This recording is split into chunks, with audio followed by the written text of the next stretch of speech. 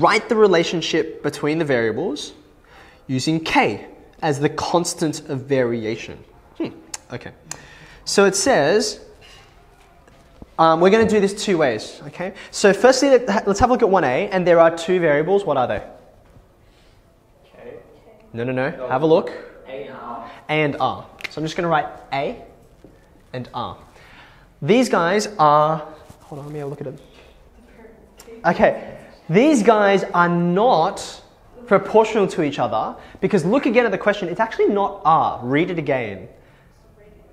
The square. It's the square of the radius. It's the square of the radius. So what I have to write is R squared. Okay, so I can say A is proportional to R squared. But we actually know, we have a formula for the area of a circle, right? What's the formula? What is it actually equal to?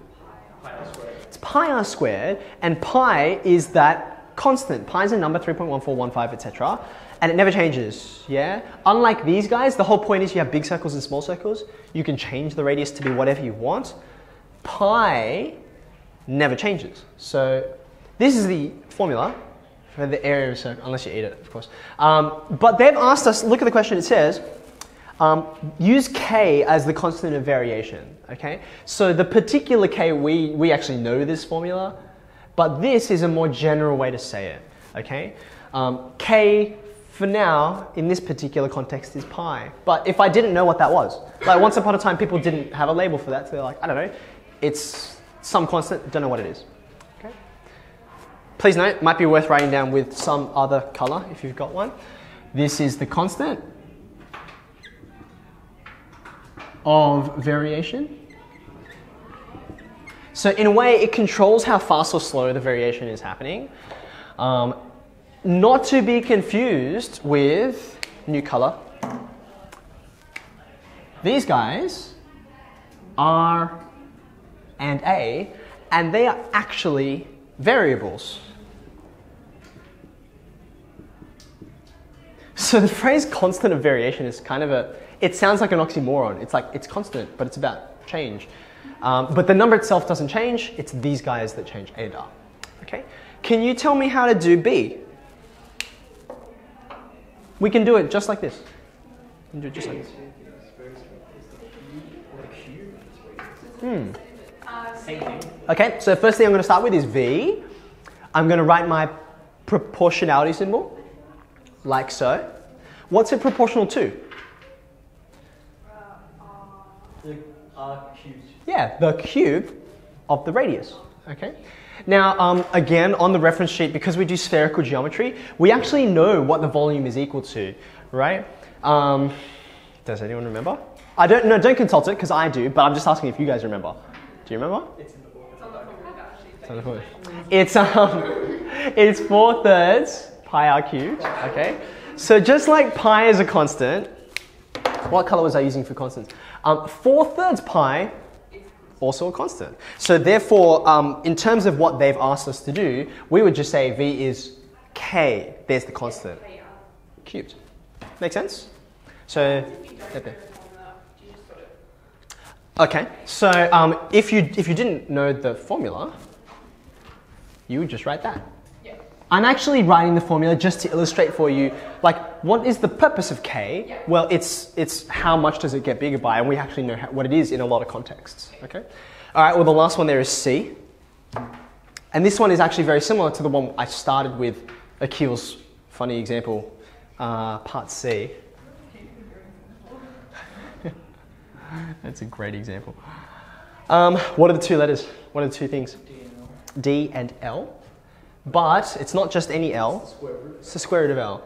So it's like this, and then there's the proportion symbol, like that. So what's the equation? This is actually uh, exactly, Renee, what you were talking about before. I don't know what the number is at the front. A fifth, 80, whatever. Yeah.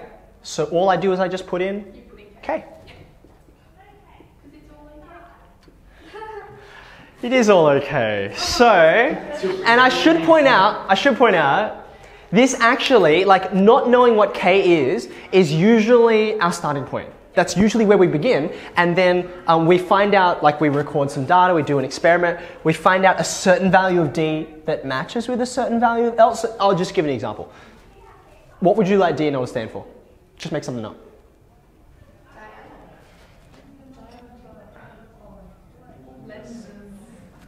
It has to be something that can change. I'm going to call it length. Length of. How about the diameter? Of, how about the diameter of your? Did you say longness? How about the diameter of your arm versus the length of your arm? Okay, I'm just making something up. Okay, so then we may actually measure. Okay, what, what does the diameter of your arm look like? I don't know, maybe like, not the diameter of my arm. Um, uh, well, both. both of ours um, can we go for like, um, Wait, like your. let's just say like four centimeters. Can we just make up a number? Yeah. Diameter is four. I, well, yeah, up here, like, yeah, Oh, yeah. it's on my wrist. Okay, anyway, um, I don't know what K is. Okay, what would you estimate the length of your, um, let's just go your forearm. What's the length? It's about 30 centimeters, right? So, I don't know, I'm just looking. Just, Mine's about 20, but okay. let, okay, all right. We'll go with, we'll go with the diameter of my arm and the, um, and the length of yours. That will give us some great data, guys, okay? So let's go with 20, all right? Now, in this case, having taken these two measurements, now I can work out what k is equal to, right? Um, what would I do to solve for k? Have a look, have a look at the board. If I wanted to solve for k, I want k on its own. Yes, Right. Okay, now hold on a second. If I squared, I would get rid of this square root, but do I need to? No. Like, the square root applies just to the 20. It doesn't apply to the k. That's why it comes after, not before. So all I need, yeah, I just need to divide by this thing, get it out of the way, right? So I'm going to go up here. k is going to be 4 divided by the square root of 20. Okay? Um, do you guys have calculators there? Yes. Can you give me to one decimal point? I had some cousins over, Mm-hmm. right? And I had a cat out and we do math. And my six year old cousin said the, the funniest thing is to go on the cat and just do all this math on it. So that was like the highlight. Wicked. You know, it's like, yay, I got to play with this forbidden toy. How many decimal points? One or do. Zero point nine. Uh, okay, give me two. Zero point eight nine. Eight, nine, okay. All right, so now what I did was, um, I'll actually highlight these, right? The first thing I did was I created the variation equation. Okay, I created the variation equation.